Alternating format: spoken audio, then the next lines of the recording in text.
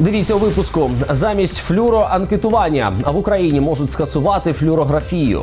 Майже 90 років тому люди вперше випробували флюорограф. Ліфт без напруги. Вже як місяць інваліди та пенсіонери не можуть вийти на вулицю через несправний підйомник. Якщо ви живете у багатоповерхівці, у вас не працює ліфт, то доведеться йти пішки. Визнали винним чоловік, який вивозив промислові відходи підприємства та скидав їх поблизу цвинтаря, заплатить штраф державі. Внаслідок чого відбулося забруднення земель. Подробиці новин далі.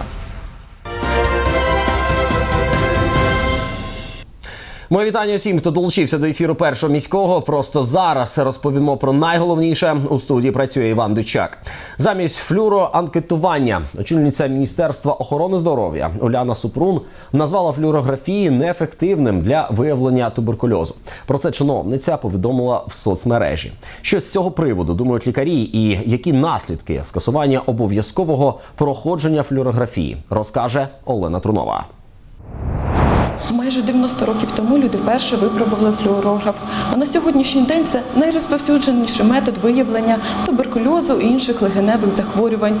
І це не дивно, адже сам процес безболісний і займає всього декілька хвилин. З 2008 року щорічно кожен українець повинен проходити флюорографію. Завдяки цьому можна виявити легеневі захворювання, як от туберкульоз, рак, пневмонія та інші. Вот Видите, округлое образование, его надо дифференцировать между или периферическим, специфическим онко, или туберкуломой. Это нижняя доля правого легкого. То есть вот это вот мы выявили. Сам процес доволі швидкий. В середньому на одну людину треба 5 хвилин, а результати можна отримати вже наступного дня. Єдиний мінус апарат в лікарні доволі старий і не витримує навантаження. Внимание. Будь ласка, вдихніть та не рухайтесь. Дякуємо. Судячи з черги біля кабінету, флюорографію можна сміливо назвати популярним методом виявлення недуги. Наприклад, Анатолій вже годину сидить в черзі. Говорить, щорічно проходить флюоро, аби запобігти туберкульозу. А ось про можливе скасування чує вперше. Против туберкулеза это ж обязательно да- надо проходить. Когда работал, проходил это. На работе проходили. А сейчас не работаю, то про- прохожу каждый год. Повідомила на своїй сторінці Фейсбук Уляна Супрун, флюорографія застарілий метод, і вже давно в цивілізованих країнах його замінили на анкетування. Лікарі з її словами погоджуються. Кажуть, нині існують більш сучасні методи, тим паче, що людина під час проходження отримує променеве навантаження, що не дуже добре. Щодо туберкульозу, стверджують, виявити недугу завдяки флюоро можна, але не на ранніх стадіях. Ось ідею з анкетуванням підтримують. Говорять, це рентабельно. Да, он э, положительный, но есть э, и отрицательные стороны. Это наследие нашего прошлого. То есть во всем мире этот э, метод не используется. Во-первых, он сейчас уже не рентабельный. Вот. Из, например, из 10 тысяч может выявляемость 2, 3, 5 человек. Бактек, джин-експерт, комп'ютерний томограф, окраска мокроти – це сучасні методи діагностики туберкульозу. Вони є і в стінах Криворізького тубдиспансеру. За допомогою них можна швидко та точно виявити захворювання. Вот она, видите, вот она одна, вот вторая, и тут. А здесь уже на компьютерном томографе мы видим более четко, и мы можем видеть ее в разных плоскостях. Найчастіше з легеневими захворюваннями стикаються гірники, які під час роботи вдихають велику кількість пилу. Голова профспілки гірників України проти скасування флюорографії. Каже, що це може призвести до жахливих наслідків. Це може призвести до е, поширення інфекційних хвороб, а також і серед е, медичних працівників. І якісь побочні хвор- хвороби теж е, будемо на собі цепляти. Люди будуть просто помирати. Завдяки обов'язковій флюорографії деякі пацієнти все ж вчасно виявляють легеневі захворювання, але запровадивши більш сучасні методи діагностики, кількість смертей від туберкульозу значно зменшиться. Але для цього потрібне фінансування. Олена Трунова, Віктор Зубченко, перший міський. Ліфт без напруги на вулиці Співдружності 66 вже місяць не працює підйомник в багатоповерхівці. Люди вимушені ходити пішки аж на дев'ятий поверх. Мешканці скаржилися до управління будинку житлосервіс КР, аби ті відремонтували ліфт, але безрезультатно. Чому не працює підйомник та коли його полагодять, знає Карина Гутяр. Якщо ви живете у багатоповерхівці, і у вас не працює ліфт, то доведеться йти пішки.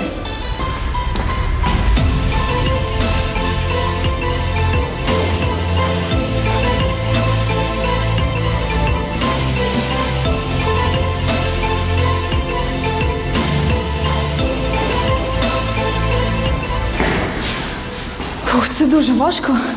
Я навіть не уявляю, як щодня підіймаються вагітні жінки та літні люди. Люди, бо це дуже складно.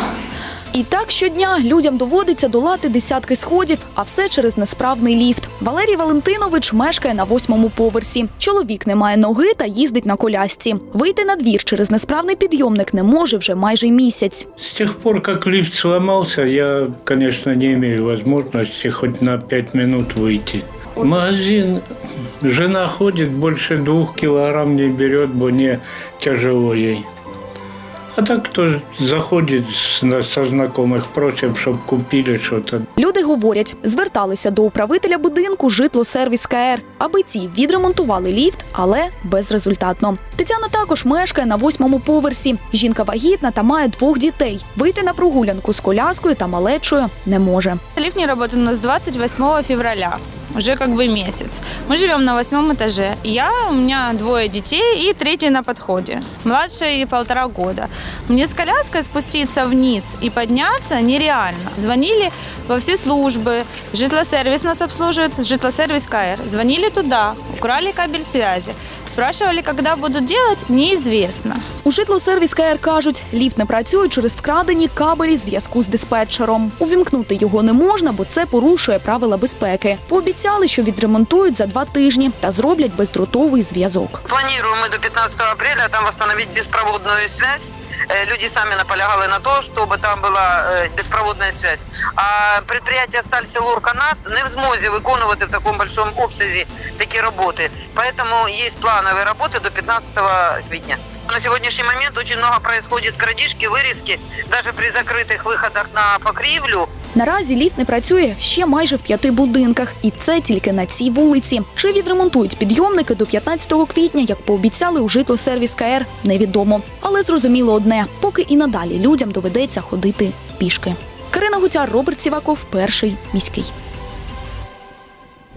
Ями по коліна, ще й сміття по всьому районі. Містяни, які живуть по вулиці Мартина Шимановського, в шоці від благоустрою біля їхніх домівок. Особливо скажуться на жахливий стан дороги біля смітника. кажуть, ями настільки глибокі, що часто в них падають. Проінспектувала пастки біля помешкань містян і наша Олена Трунова.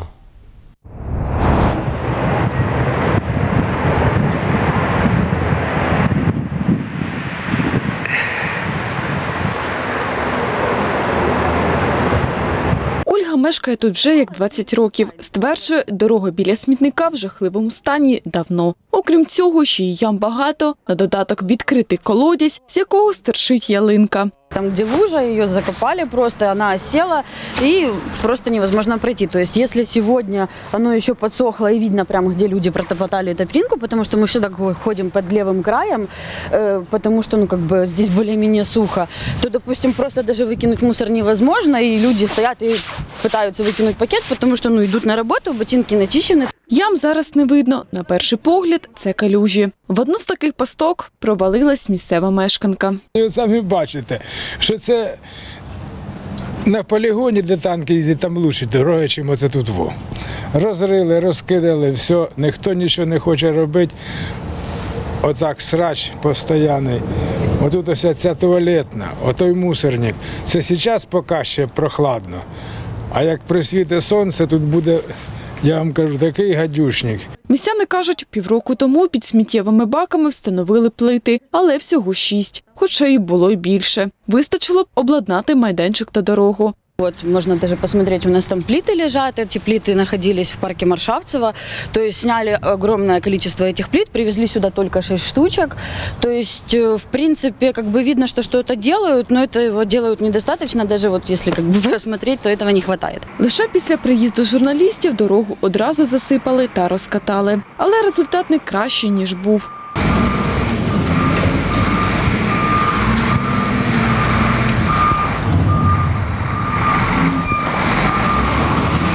Аби дорогу заасфальтували, потрібно дізнатись, на чиєму вона балансі. Для цього містяни мають звернутись до райради. Олена Трунова, Роберт Сівако, перший міський. Він таки існує. Притулок для тварин у Кривому Розі працює. Це заявив заступник міського голови Олександр Катриченко. Каже, майже за два місяці діяльності центру з вулиць міста відновлено 128 собак. 54 простерилізовано. 39 з них знову випущені на вулиці, а чотирьох хвостатих передали в добрі руки. На сьогодні в центрі перебувають 89 тварин. Сума витрачена на його створення і діяльність складає вже 530 тисяч гривень Нагадаю, притулок для тварин обіцяли відкрити ще в травні минулого року. А проте запрацював він на більше ніж півроку пізніше. Сегодня производится исключительно в тех объемах и тех масштабах, которые фактически отлавливаются, э, стерилизуются, содержатся, и собачки, некоторые собачки э, отпускаются обратно, как стерилизованные и полностью вакцинированные, так и часть животных остается пока в приюте. Могу уверить на 100% с подтверждением, что все лекарственные препаратами, всем персоналом на сегодняшний день, хирургическими всеми необходимыми оборудованием на 100% питомник оборудован. Продають із землі. Чиновники знову провели рейд по стихійній торгівлі на привокзальній площі. Там чи не щоранку сотні селян продають продукти, торгують молоком та м'ясом, які не проходили жодну перевірку. Люди говорять, це єдиний заробіток на пенсії. Чиновники занепокоєні, бо через стихійний ринок не може проїхати транспорт. У рейд відправився і Микола Неручик.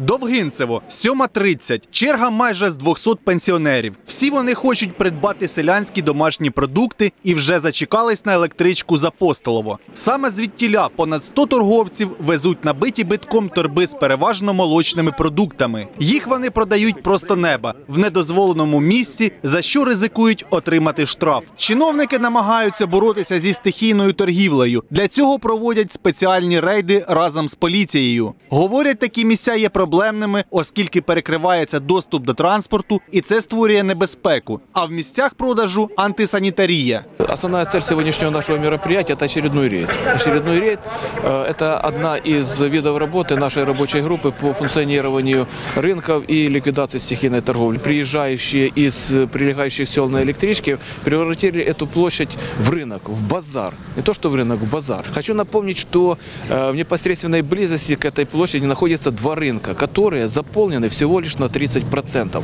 Это реальное место для ведения торговли, которые э, оплачивают все налоги и сборы в государство э, и действительно является ну, законным местом для реализации торговли. Переважна більшість торговців селяни кажуть, що продають якісні та відносно дешеві продукти. Таким чином намагаються вижити в економічно нелегкі часи. Говорять, що і раді продавати легально, але для цього потребують зручних прилавків.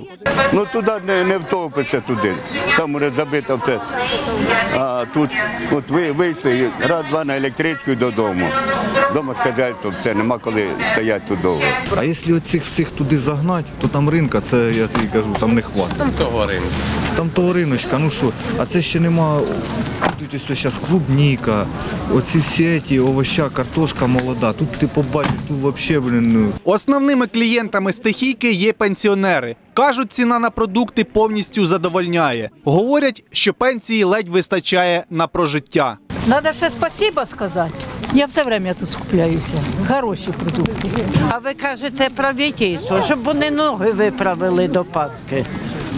Чиновники кажуть, недалеко від привокзальної площі працює стаціонарний ринок. Місця є і за копійки. Проте селяни туди йти не хочуть, бо тоді доведеться давати на перевірку свій товар. Микола Неручик, Дмитро Христенко, перший міський. Визнали винним чоловіка, який вивозив промислові відходи підприємства та скидав їх поблизу цвинтаря у Довгинцевському районі. Осудили вирок штраф у розмірі 3400 гривень. Сам злочинець не заперечує, що незаконно скидав відходи. Нагадаю, ще у грудні 2017 року правоохоронці встановили, що 38-річний співробітник приватного підприємства нелегально вивозив горілу землю та розвантажував у навколишнє середовище. Такі дії були небезпечними для довкілля. Зазначу, в січні цього року кореспонденти першого міського поблизу села Львів на кладовищі Травневе помітили важку техніку, яка скидала у ґрунт невідому суміш. В міському управлінні благоустрою та житлової політики стверджують, жодних дозволів на користування комунальною землею на території кладовища не надавали ані теперішнього року, ані минулого. На спеціалізованому вантажному самоскиді скані, в кузові якого знаходилися відходи виробництва горіла земля, самостійно, діючи умисно, в порушення спеціальних правил та з метою економії часу та спрощення робочого процесу незаконно здійснив вивезення та складування відходів виробництва в несанкціонованому місці, а саме на земельній ділянці, за місцем розташування кладовища Травневе в Давинському районі міста Кривого Рогу. Внаслідок чого відбулося забруднення земель.